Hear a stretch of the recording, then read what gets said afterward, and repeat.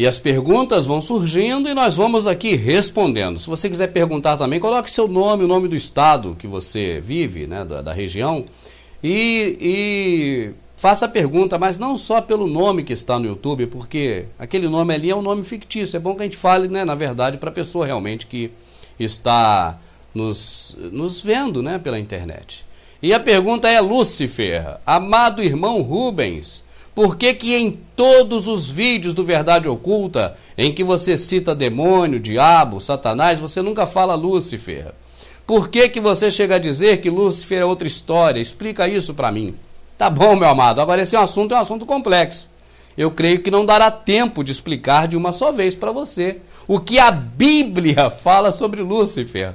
Porque tem muitas coisas na Bíblia sobre Lúcifer. Oh, rapaz, mas como a Bíblia está recheada. É certo? É muita coisa sobre Lúcifer que tem na Bíblia.